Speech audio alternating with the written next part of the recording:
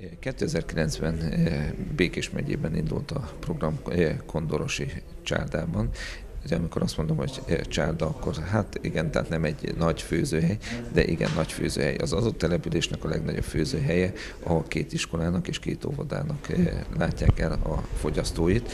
Ez nagyon fontos. Nagyon fontos az, hogy ott helyben hogyan tudtuk azokat az új alapanyagokat, mint akár a eh, spárga, a medvehagyma, beintegrálni a mindennapi közétkeztetésbe úgy, hogy megmutattuk a fogyasztóknak. Hát Budapest. Budapest az egy külön szegmense, tehát az egész országos programunknak, mert itt nem beszélhetünk a helyben megtermelt alapanyagokban, itt azok a magyar értékekre kell tehát odafigyelni, magyar alapanyagokra, ami valós alapanyagok. Valós alapanyagból elkészült ételeknek sokkal tehát másabb az íze, másabb az illata, másképp tehát viselkedik, mint hogyha ez egy kényelmi termékből lenne tehát előállítva. Fontos az, hogy ezt hogyan lehet tehát kivitelezni, hogyan lehet értékelni.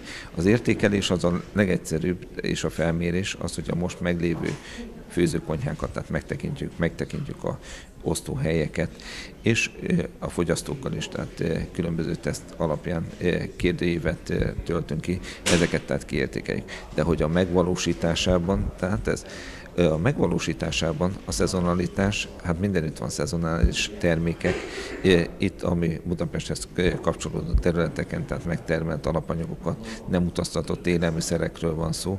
Lehet, hogy egy adott időszakban, egy évszakban, lehet, hogy csak egyszer vagy kétszer lesz ebből elkészített étel, de fontos az, hogy a fogyasztónak ezt hogyan tudjuk átadni, hogyan tudjuk megmutatni. Itt óvodában kell elsősorban tehát elkezdeni, kis csoportos részén, tehát nem is egyszer a megközelítőleg 800 főzőkonyha vagy tálalókonyha ennek sokkal több részén, hanem tehát bizonyos területeken, tehát azokat a minta, tehát úgy, mint a minta mezza, úgy, mint a minta konyhákat, a minta fogyasztói csoportokat, tehát ki kell választani, akik hajlandóságot mutatnak ahhoz, hogy tehát partnerségként tényleg szeretnének azt, hogy egészséges alapanyagokból egészséges kultúrát környezetben elfogyasztott ételeket, ahol az iskolában nem csak 5 perc áll rendelkezésre az étkezésre, hanem legalább azért egy olyan 10 perc, mert nagyon fontos az, hogyan van kitálalva az étel, hogyan van maga az egész tehát, körítés. Én azt hiszem Budapest tehát ebben